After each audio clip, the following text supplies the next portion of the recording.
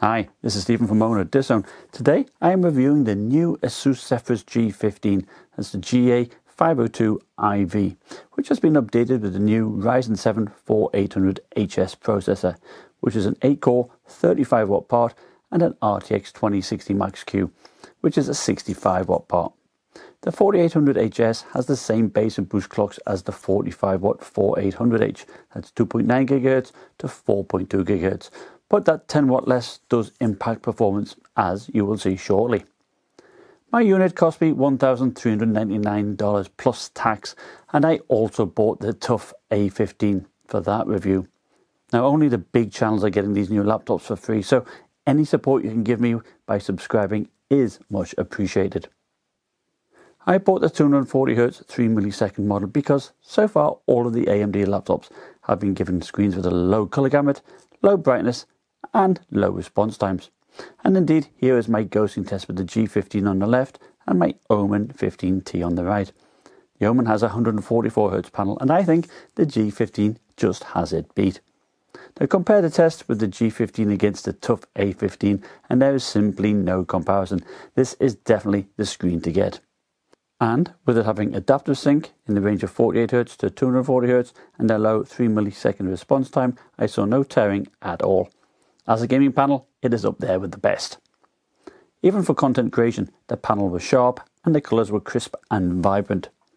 So the screen on the G15 is greatly improved. It's uh, showing here alongside the Omen 15T.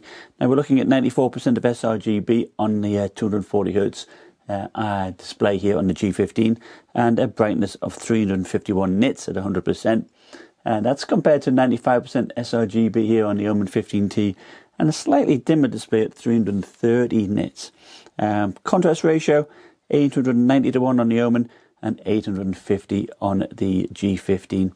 And if we reduce the brightness, uh, say at 50%, the G15 remains brighter. It's 137 nits versus 108 nits on the Omen. So a definite improvement. So the panel has thin bezels all the way around and consequently there's no webcam here up at the top. And the panel stiffness there's a, fair, there's a bit of flex there and a bit of creaking sound here from the top right hand corner. And as for the backlight bleed, you know, it, the G15 screen is very good. So the bottom cover is plastic, speaker grills here, get inside using uh, Phillips head screws, so it's nice and easy to get in. Um, but there's the kicker, look, air intakes blocked off where the fans are crazy really. It really does limit uh, the, the cooling performance. Idea, I suppose, bring air in through here and across the heat pipes and these components here. But, um, well, that being said, you do have some quite big uh, heat sinks here at the back. Um, of course, you've got the, uh, the GPU uh, being here, so the RTX 2060 Max-Q 65 watt and the 4800HS Ryzen 7 CPU there. Now, it does come with one stick of RAM replaceable, 16 gigabytes altogether, 8 gigabytes are soldered on. Intel Wi-Fi 6 AX200 Wi-Fi card, you can replace that. 76 watt hour battery here, and at uh, you know to the 240 hertz panel, um, I got about five hours 50 minutes of runtime there, so that's what I got there. Um, and that's of course you've got the speakers here. Of course you've got the uh, M.2 drive here with a second one here a PCI Express drive there so you can have two slots. So that'll about 35 decibels of the fan noise and it says at 2700 RPM. And under load around about 50 decibels. So let's have a look at the chassis temperatures here on the G15. And actually they're not too bad to be honest, you know, um, about 35 degrees Celsius or so there. And you can see a little bit where cooler is boarding through the keyboard. Not a lot, but a little bit is. And there's a, you know, the air vent here at the top. Let's have a quick look underneath. Now, normally you'd like to see some cool air there being brought in, but of course, the air intakes of the fans are blocked off. Well, that being said, the chassis itself is pretty cool. So, software has the My ASUS, where you can easily download all the latest drivers. I like that.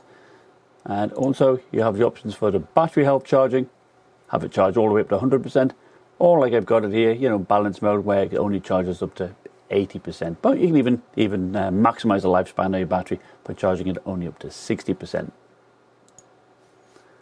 Now, also you've got the Armoury Crate software, and of course the front page shows you, you know, the fan speeds, CPU frequency, that type of thing, and also uh, for the GPU, and you've got the various power modes here as well. You can have a manual here where you can actually, like I have applied, the fan speed for various temperatures for both the CPU and the GPU, and you can also, you know, increase the clock of the core and the memory on the GPU.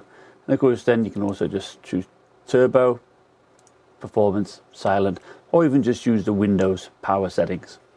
Now, there's no in the AuraSync, it's only white backlight, so there's no changing any colors available here. The CPU frequency will jump up and down quite a bit. Now, this is just watching a YouTube video on turbo mode. So it'll fluctuate between 1400 to 4300 megahertz, up and down quite a lot.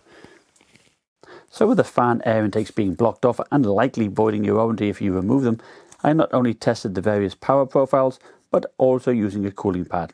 And in gaming, I did try also lowering the clock of the RTX 2060 Max-Q. So, in Cinebench R20, I showed a Zephyrus G15 in blue at the top. Performance mode scored 3,237 points and ran at 85 degrees. And with the turbo mode, the higher fan speed reduced the temperature to 73 degrees and 3,690 points. Using a cooling pad did shave off 3 degrees and bumped up the score to 3,763 points. As you can see, this is quite far off the score of the 4800H in the uh, TUF A15 and is more in line with the i9 9880H. In my longer running Handbrake encode, I show the time in seconds, so lower the time, the better. Again, I have the G15 in blue at the top, and we see much the same as before, the 4800H being the fastest. And as for the temperatures, I saw 85 degrees in performance mode and 74 degrees in turbo mode. Using a cooling pad made it a bit quicker and did shave off 5 degrees. Okay, so far so good, but it isn't gaming where things tend to go pear-shaped here. First, I'll show you the effect of the power settings as I run Far Cry 5. Here is a manual mode where I set the fans basically to 100%, the GPU overclocked and have the Windows power settings to game turbo mode. The CPU is at 95 degrees and 35 watts. The GPU at about 1545 MHz and 76 degrees with a frame rate of about 91 FPS. Now I switch it to turbo mode and the regular Windows high performance setting. The GPU drops to 1485 MHz, 74 degrees, and the CPU remains at about 95 degrees Celsius and 35 watts. And the frame rate also remains unchanged. In both cases, the CPU is boosting to about 3900 MHz. Switching to the performance mode, the CPU does drop to 26 watts and 91 degrees and a 3500 MHz boost clock. The GPU temperature remains unchanged, but it does downclock slightly to 1440 MHz.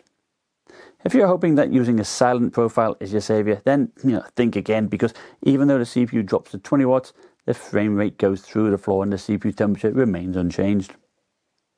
Using the Windows power profile of balanced, the CPU is now at 27 watts, holding about 3600 MHz, and finally drops below the 90 degree mark with negligible effect on frame rate. This was a stationary test, so let's run the inbuilt benchmark with turbo mode at the top and the Windows power saver at the bottom. Now you don't lose much frame rate with the power saver and it seems quite steady at 90 degrees.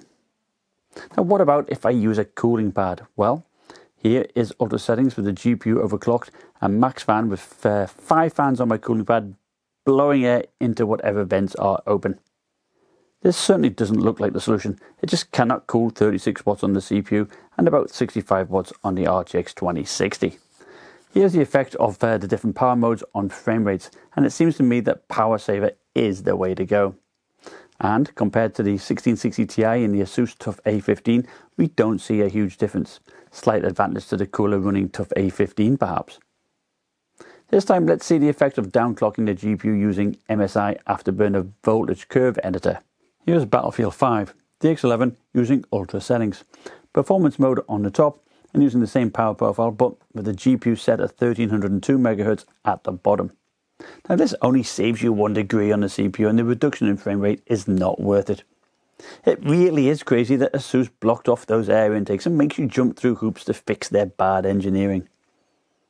Now I show Power Saver on top and Turbo with the cooling pad at the bottom. Different maps, so don't focus too much on the frame rate. But the takeaway here is that the Power Saver gives a good gaming experience and is a good 3 degrees cooler than using the notebook cooler. Here is the frame rate comparison with the different power modes. And again, I think using Power Saver is a good compromise between thermals and frame rate. Even running cooler than if you were to downclock the GPU and giving a better frame rate. Now compared to the Asus TUF A15 with the 1660 Ti, again, you know, they were neck and neck. And that's an 80 watt GPU, so, you know, I would think having that in this system would make it run even hotter. Here is Overwatch using epic settings using turbo mode. At the top though, we use the cooling pad, which does shave off a few degrees, but you will still, still see spikes even to 100 degrees. This definitely isn't the solution. Now we have the performance mode at the top and power saver mode at the bottom. When the CPU drops to about 24 watts in power saving mode, we do drop to about 88 degrees. Not much difference to the 90 degrees with performance mode. And the effect on frame rate when you switch power modes is negligible really, and most importantly, minimums are still over 100 FPS. Interestingly, the TUF A15 did better here. Perhaps it was a range of maps being played, but either way, the frame rates were good. In my next video, I will show gaming performance across several games at various quality settings. So the lid is brushed aluminum in its usual two pattern design here, and the ROG emblem here doesn't light up, but it is reflective. Now it does show a few fingerprints, but it's quite easy to keep clean. So the keyboard deck is made out of plastic, you know, but that's not too bad. It doesn't really seem to show show that marks too badly. And one thing to bear in mind, the screws around the edges here are slightly smaller than the screws elsewhere. And if I inadvertently put one of the slightly larger screws and screwed it in, and it did bubble here. Now, if it was an aluminium deck, that wouldn't have uh, happened. So just bear that in mind. The uh, trackpad, it's posted a little bit on the small side, integrated buttons, plastic, smooth, precision drivers, but I found it worked okay. The key, keyboard itself, I thought the keys were perhaps a little bit on the small side, particularly, you know, like escape key here, delete key, and the arrow keys here are, are particularly small. Uh, of course, up and down arrows, you've got uh, the key lighting there. You can there's three levels of brightness, and on the function keys, yeah, on the F6 you've got a good like snipping tool, which is good for taking screenshots, and uh, the F5 switching between the various power options. Uh, multimedia controls here, and of course you've got volume up, microphone, and access to the uh, Armoury Crate software for this button. And uh, up the top there is some air intake ventilation. So the keys are backlit white only, but you have three levels of brightness. So on the left hand side we have the power connector, Ethernet jack, HDMI 2.0B, a USB 3.2 Gen 1 Type A port, um, a USB 3.2 Gen 2 Type C with DisplayPort 1.4 and power delivery. And on the right hand side, we have two USB 3.2 Gen 1 Type A ports, making three in total, an air vent for this uh, for the GPU, and the Kensington lock. So the speakers are okay, about 70 decibels, and uh, you know, because the fan noise isn't too loud, it's perfectly fine. And its weight four pounds eight ounces, and with the power brick, five pounds ten ounces. So how would I sum up the Asus Zephyrus G15? Well, I was really pleased that finally we have a decent screen for an AMD laptop. The build quality is okay and the fit and finish is fine. The aluminium lid does give it a somewhat premium feel and it is only 2 centimeters thick so it does feel pretty sleek. Fan noise is a bit of a mixed bag mainly because as soon as you start doing stuff, it starts to ramp up and it gets quite loud. And I do feel that this, the culprit here is the really poor airflow the system has. What on earth were ASUS thinking by blocking off those fan air intakes? If I wasn't looking to sell this laptop, I would rip those straight off. I was a little bit disappointed that the CPU performance was below a regular 4800H, but that is to be expected. As for the GPU, if ASUS does plan to put a higher powered one in here, they need to address that cooling first. Battery life is okay, you know, expect around about 5 hours. Thanks for watching. Remember to subscribe so you don't miss out on the other videos on this laptop and various comparisons I have planned. Bye.